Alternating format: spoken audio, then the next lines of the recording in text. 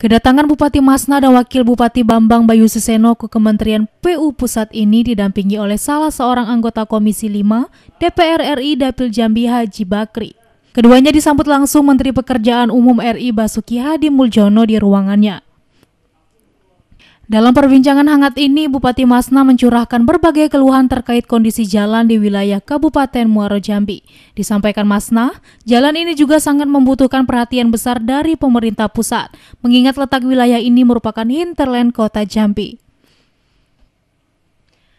Sejumlah objek pembicaraannya disampaikan di antaranya seperti Jalan Talang Duku yang statusnya merupakan jalan kabupaten namun dilewati kendaraan dari seluruh kabupaten di Provinsi Jambi dengan tonase beragam Kemudian terkait rencana pembangunan jembatan Batanghari 3 yang juga sangat dibutuhkan masyarakat. Kehadirannya ke kementerian diakui Masna disambut positif sang menteri. Masna memastikan niat baik tersebut kini tengah ditunggu masyarakat untuk segera diwujudkan.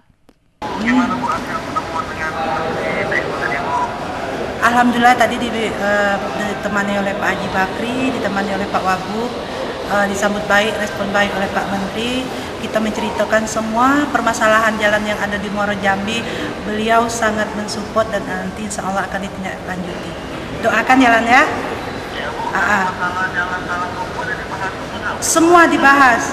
Masalah jalan duku, masalah bahar, masalah jalan apa namanya jalupok, oh, yang mau pelebaran, masalah jalan Umpe yang mau ke arah samudra, jalan candi, itu semua dibahas tadi.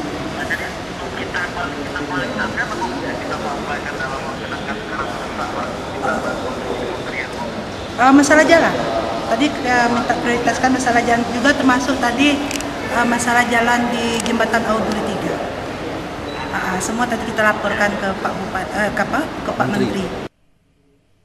Sementara itu, anggota DPR RI Dapil Jambi Haji Bakri menyampaikan bahwa hasil dari pertemuan ini sangat positif. Menteri menerima segala aspirasi yang disampaikan dan berjanji akan membantu Muaro Jambi dalam pembangunan infrastruktur.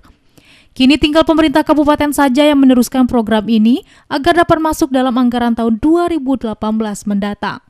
Ini bahwa dengan keterbatasan anggaran provinsi dan kabupaten kota, saya mencoba mengantarkan mendampingi teman-teman para bupati. Hari ini Bupati uh, Muara Jambi, Ibu Masna dan Pak Wakil Bupati, Pak Bambang ketemu dengan Pak Menteri menyampaikan seluruh unek-unek seluruh kegiatan rencana kegiatan beliau karena beliau baru jadi punya banyak rencana.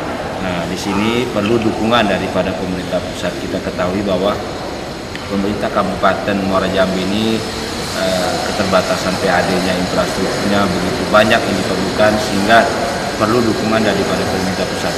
Yang jelas juga intinya bahwa ini juga kunjungan dalam rangka menindaklanjuti apa yang sudah pernah dilakukan oleh Pak Gubernur sebelum-sebelumnya.